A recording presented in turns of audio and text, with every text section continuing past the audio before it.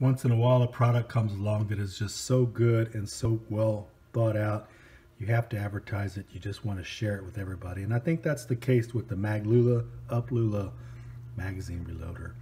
I've got one here. If you're new to shooting or been anywhere around shooting this is our wonderful devices for loading your pistol mags.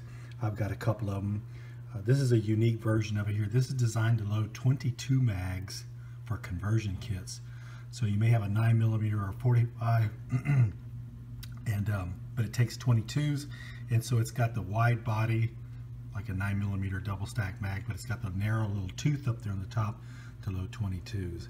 So if you've got a CZ Kadet or a conversion kit, this is the magazine to use for that.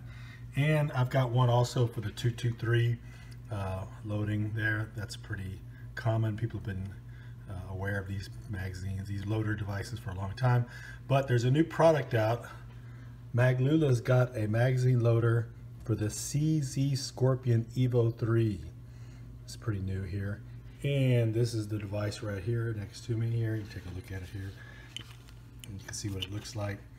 There's where you drop in your nine millimeters and it toggles back and forth just like, excuse me, just like the the 223 and it works fantastic. I've got a couple of mags here. I just got through loading up to test it.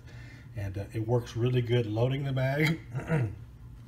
And it works really good unloading the mag as well. So if you're finished for the range day and you want to clear out these mags you just turn it upside down go through the process and the shells will fall out. So great product quick review.